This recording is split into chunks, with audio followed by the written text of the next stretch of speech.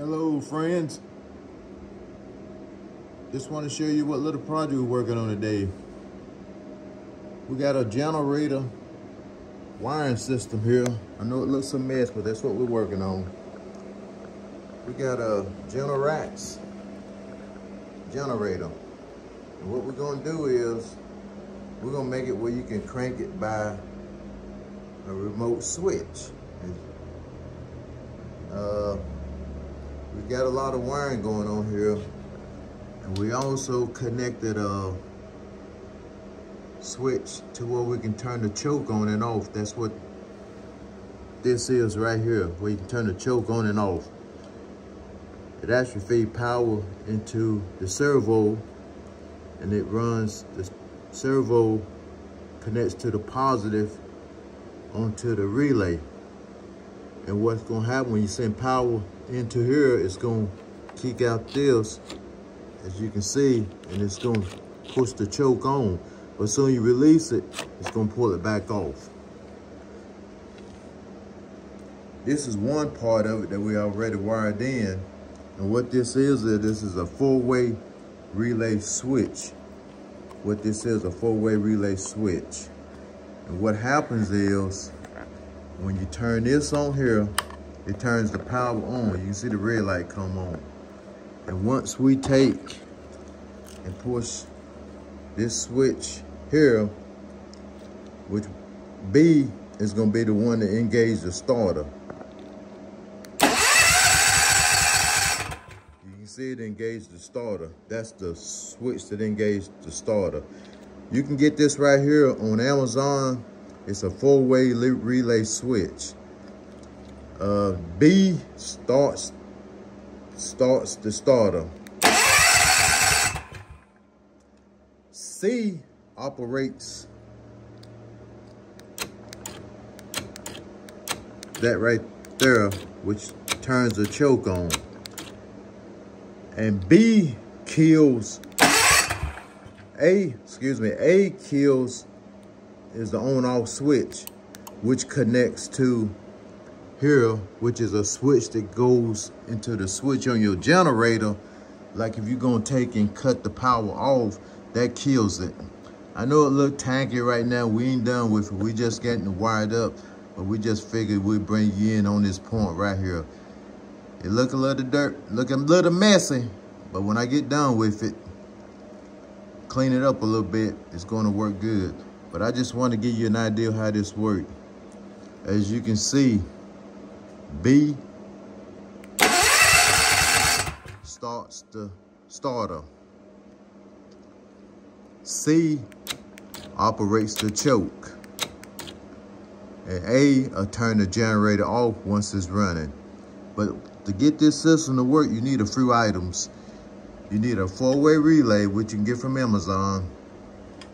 And you also need a solenoid switch. That's what I got right here. And the way it's wired in is, where this solenoid switch is wired in, I got it where you got two, you got a red wire that connects here, you got a red wire that connects there. And basically what it is, it's like in, out. And what it set up is I got the power coming from the battery, which is here, runs over into here, and it goes into the relay. And then it turns around and it goes back out to the starter, which is here. But you gotta put a wire in right here what energize the relay, the solenoid. This wire right here energizes the solenoid. And that red wire, what you see here, is running back over into the red wire you see here is running back over into the relay, the four-way relay, what is running into. That's when I kick in the blue button. And what that does, it energizes, send power over here, send power over here to the solenoid, which close the contacts in the solenoid, will send power out to the starter. And when you release the button, it starts. So that's how that system works. It look complicated. I've been working on it for about a day or two, you know, because I have another job I have to go to, but it does work. And the purpose of this right here, it keep you from having to come out here and pull start it or push the button to start your generator up. You can start it from a distance. But like I said, it's still a progress in the work, and I know it look tacky. Know it look tacky, but like I said, that's the way it's looking. But as you can see, that's one four-way relay switch I got into it. I'm also putting another one. I'm also putting another relay switch in the back side of it. And I know you probably asked the question, why are you wiring two into the system? But reason, reason wiring two in the system, you ever heard of having a backup on a backup? And this is my backup. In case it doesn't go to bad, I can still start it off of this one here. This one here is gonna wire the same way as the first one do, but like I, like I was just saying a few minutes ago, you can see this, this is all another four-way relay, and it works the same way as the one in the front. But the reason I'm putting the nut in here is in case the front one go out, I can use the back one, or vice versa. So I'm just having a backup on a backup. It's best to have a backup on a backup, just like when your lights go off in your house, it's best to have a backup source of power that feeds your house like a generator, one of them portable solar generators that I've been showing them other, other videos. Hope you like this. Subscribe to the channel. Give me the thumbs up. But like I said, I know it looks bad right now, but just as soon as I get everything wired back up and put back in place, I'll bring another video and add on to this one to let you see the complete end result. But I just want to show you how I done it thus far. Hope you enjoyed the video. Hey friends, back with another video.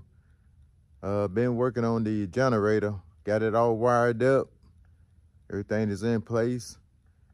Got the remote in my hand to start it up. And I just want to tell you the functions of the remote. You got A, B, C, and D. The A controls the actuator, which what that does, it operates the choke. It it pushes the choke on. B operates the starter. And C is a kill switch. When you push C, when the generator running, it kills the power to it. All right, get ready to start it up. First, before I start it up, let me just give you another run through of what I did here. This right here is a Sentinel. This is actuator. This is also located on your car doors, your locks. It's inside where you don't see it, but what it does, when power go to it, it pushes this plunger out. And here is a, a standard box that I put on here. This one here also have a four-way relay built inside. Of course, I wired it up, but like I was telling you earlier, I put two in here. And this is how you turn the relay on in here. You turn that switch on, and it's on. So I just turned it back off. Walk around, and here's as we were saying earlier about the Sentinel switch. The way the Sentinel switch is wired up, you got your hot wire here that comes directly from the battery, which is here. And then you got another hot wire here that connects to a switch on the back side of here, and it's send power back down to the starter. This red wire right here connects to the relay that's inside this box right here. And there's also another wire that runs back through here on the back side and it connects in here. As you can see, I got a switch here. What that switch does there, it turns another relay on inside of the panel. And that's a four-way relay switch, just like the one in the front in the Great box. So we're gonna turn this one on, and this is the one we're gonna start up. You're gonna use this one to start it up first. Let's walk on around. And right here, on most generators, is a switch here where you can turn it off, turn it, turn it off and turn it on. But what that does, when your generator run, it kills the engine. I just wired everything into here off of both of them relays into here and I took the switch out to kill the power to the engine. So we're getting ready to start it up here right now. I'm gonna keep the video running. I'm getting ready to start it up. Okay, let me give you a demonstration what does what. As I was saying, B on the remote starts the starter. As you can see. A operates the switch, which is the choke. Well, I'm sorry I told you wrong. C operates the choke. This right here, C operates that. See how that moving? I need to put a spring on there so I can pull it all the way back.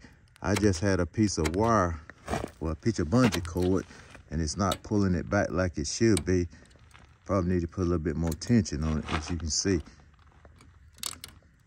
But like I said, this is just temporarily. That's just temporarily until I can get a spring to put on it. And I'm planning on putting a spring on it. I'm gonna work that again. See how it pushes over? That's the same way your door locks work on your cars. This is inside your car door right here, a piece like this. It works the same way. Usually you push it and you push it the other way and it locks it and it unlocks it. So that's how that works. So we're getting ready to start this up right now.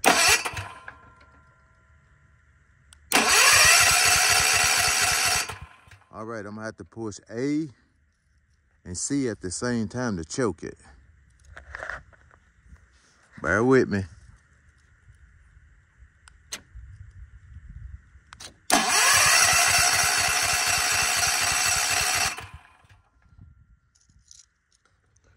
Getting ready to get the thing started, friends. Gonna start it up. We were ready. As you can see, I'm using a remote to start it. I'm gonna have to push A and B at the same time to do it. Let me lay this right here. That way I can take one phone, hand to hold the phone and then push it. Gotta push C and B at the same time.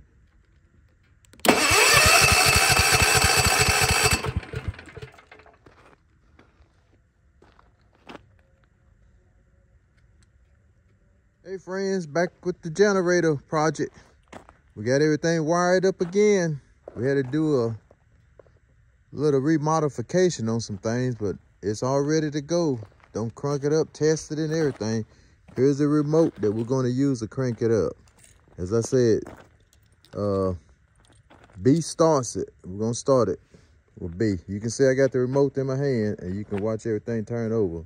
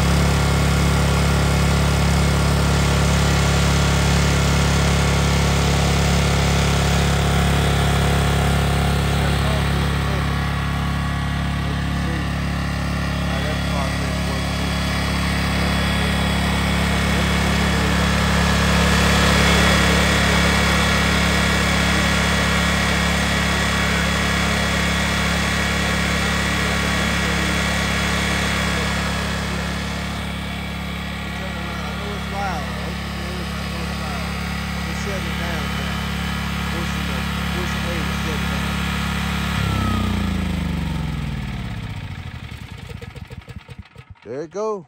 It went down. Push A. I started back up again. Gonna push B again.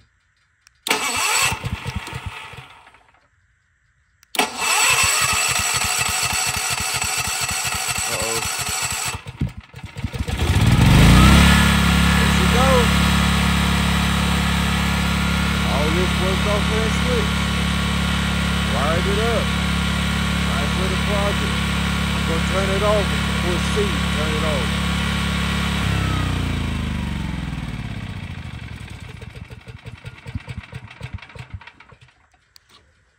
I hope you enjoyed the video. Give me the thumbs up on it. Share this with someone else. The purpose of this video here is if you got a generator and you don't want to have to go outside to start it, you can start it from a remote. If you don't want to go outside to turn it off, you can turn it off by the remote as well. And as I said, everything I purchase is through Amazon. And I will leave links in the comments to where you can get all this stuff. And if you need my help, just send me a comment and I help you put this system together. I have no problem trying to tell you how to do it. Thank you for looking. Thank you for your, thank you. I, and I want to take our time to thank all my subscribers. My channel hadn't been up long, probably a month, month and a half, maybe a month. But I thank all my subscribers and I thank you. Thank you from the bottom of my heart. And please keep sharing the videos and give me the thumbs up. Thank you.